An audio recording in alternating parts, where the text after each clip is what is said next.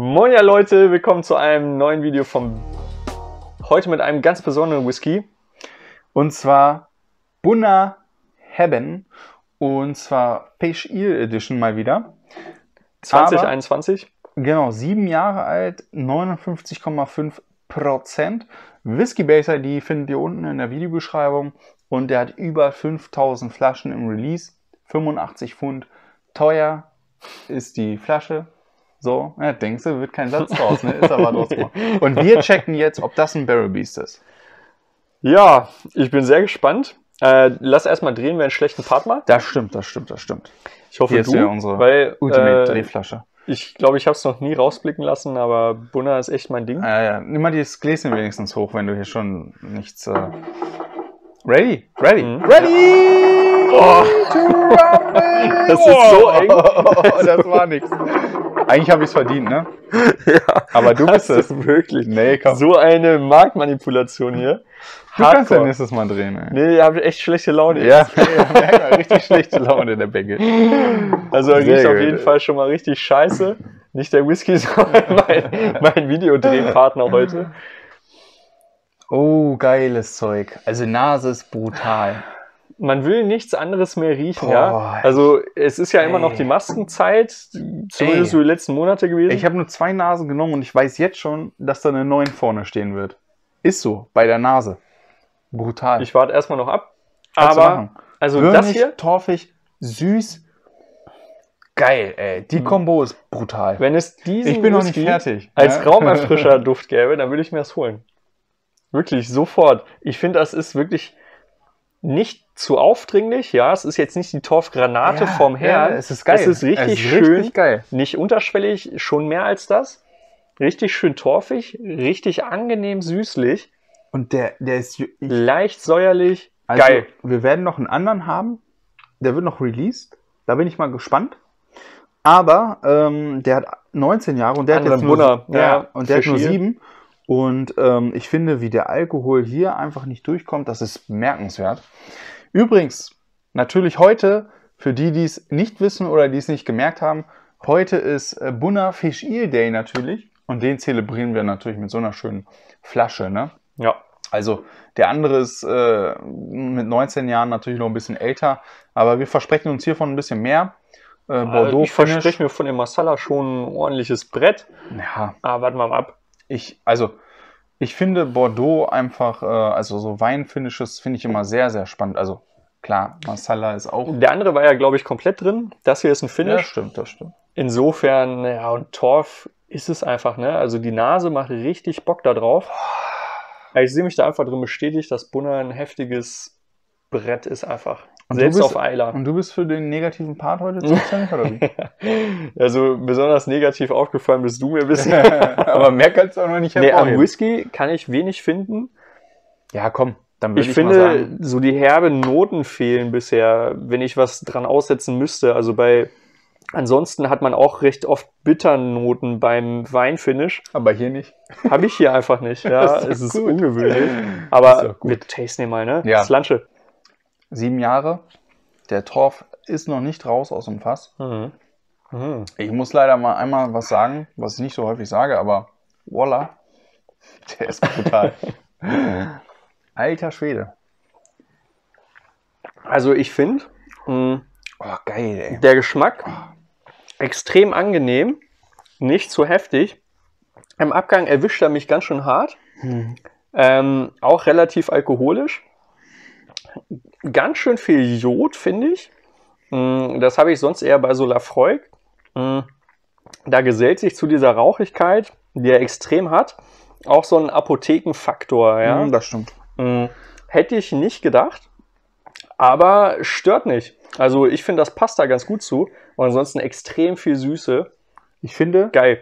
leicht angekokte, kokelte Datteln im Speckmantel. Wirklich.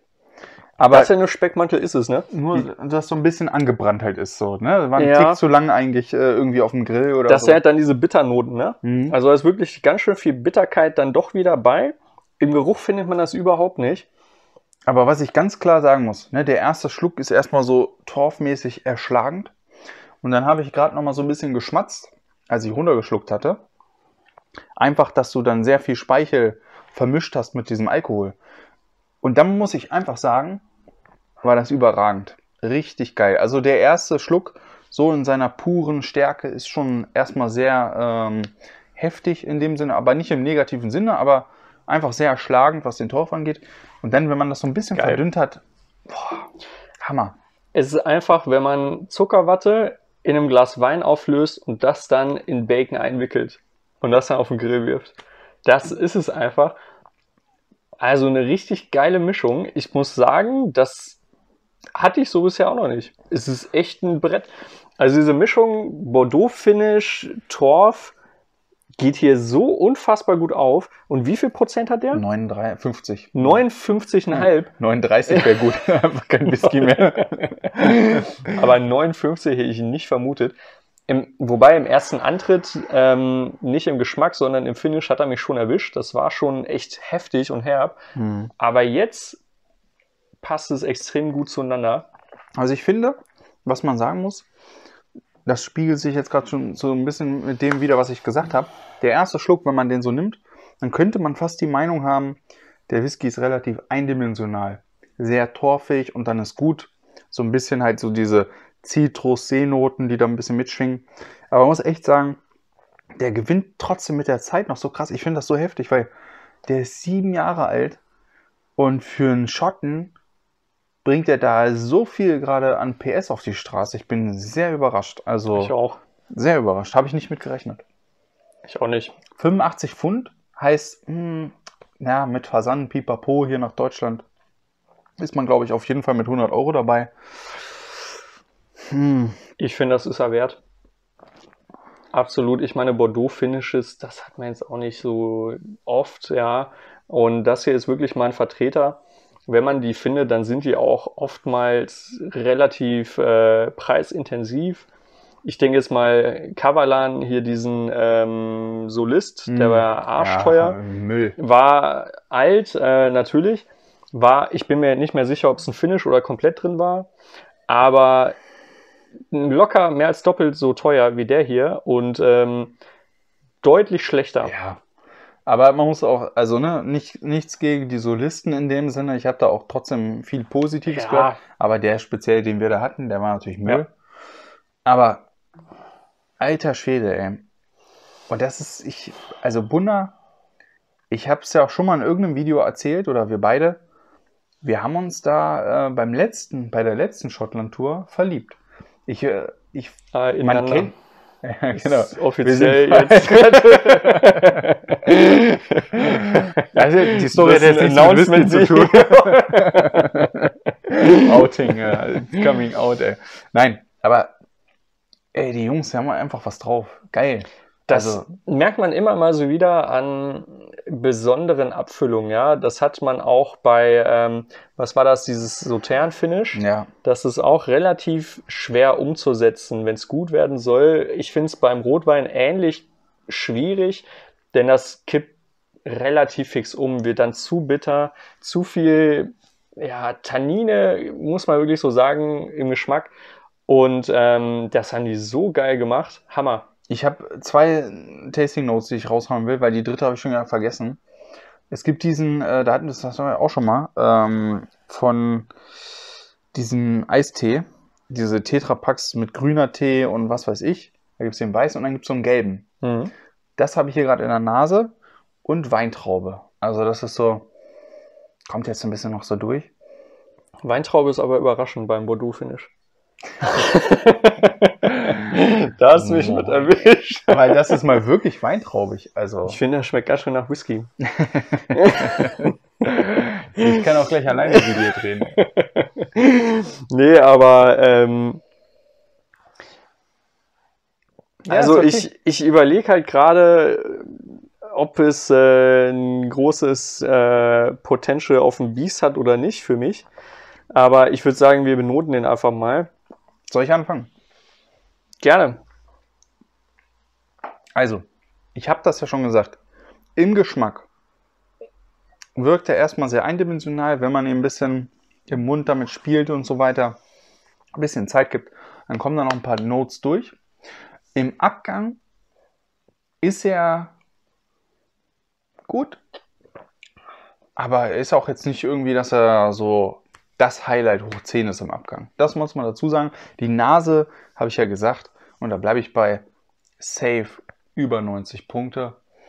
Da muss ich ihn wirklich mal gut bewerten, weil ja, ich weiß nicht, was man da sonst noch rauskitzeln will. Für sieben Jahre, das muss man einfach mal sagen. Deswegen, ich fange heute mal, und das ist eine Überraschung, ja, weil ich muss es machen. Ich fange von vorne an, ja, mit der Nase.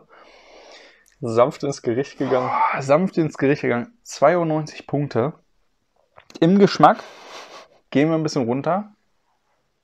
Aber ich gebe ihm auch, ey, der schmeckt. Ich bin natürlich auch ein Torfreund, aber er schmeckt mir einfach gut. 88,5 eigentlich, aber sanft ins Gericht gegangen 89. Und im Abgang, da lässt er ein bisschen federn, da ist das schon fast. Das Geile ist, der Geschmack beschäftigt mich so sehr, dass ich den Abgang kaum mitkriege. Und deswegen, ja, ist nichts Schlechtes. 84. Mhm. Also in der Nase finde ich ihn auch sehr, sehr gut. Die Nase ist brutal. Nicht so ultra komplex. Mhm. Gebe ich ihm eine 89. Ähm, Im Geschmack gehe ich äh, entspannt mit ihm ins Gericht. Mhm, da gebe ich ihm nämlich eine 91. Also ich finde den Geschmack wirklich absolut geil. Mhm. Am Abgang finde ich ihn aber auch jetzt beim dritten, vierten Schluck, manchmal erwischt er mich einfach, dass dann doch zu sehr Alkohol durchkommt. Mhm. Da gebe ich ihm deshalb, ähm, er entfaltet sich dann auch nicht mehr richtig. Auch jetzt beim dritten, vierten Mal kommt nichts Besonderes mehr durch zu entdecken.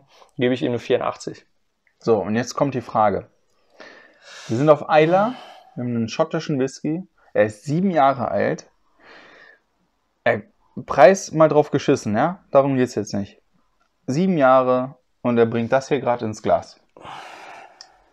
Ich bin auch hart am Überlegen, aber ah, der Abgang ist das Einzige, was mich so ein bisschen stört an der Geschichte. Ich meine, ansonsten würde ich sofort sagen, das ist ein Barrel Beast, ne? ja. Aber ich wüsste jetzt auch nicht, ja, doch, also es gibt natürlich Bretter, ne? Wenn du jetzt einfach mal einen Vergleich ziehst zu dem, ne, dem Iren zum Beispiel, den wir als Barrel Beast Ja. gezogen haben, oder dem Palo Cortado, Ja, der auch sehr komplex war, aber ich finde den, ich bin echt am überlegen, ich finde den sogar, glaube ich, geiler als den Palo Cortado. ach, hör auf. Der ist nicht ganz so komplex, Ja. Aber er trifft mein Geschmacksprofil. Ja, das ist es halt, ne? Der schmeckt einfach uns beiden richtig geil. Ey, Und man muss auch sagen, das ist so ein wildes, geiles Ding, ja. Sieben Jahre, ich mach's dir jetzt schwer. Bordeaux-Finish. Ich finde es richtig geil. Ich sage jetzt, ich würde ihn zum Barrel Beast küren. Ja, ist okay. Bin ich dabei. Ciao.